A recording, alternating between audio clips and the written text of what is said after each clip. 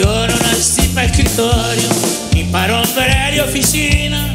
A mí me gusta el negocio, el jugo y la vitamina. Me dicen coyote mocho, cuidado con sus gallinas.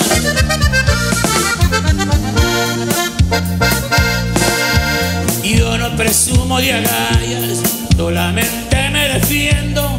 A mí el que me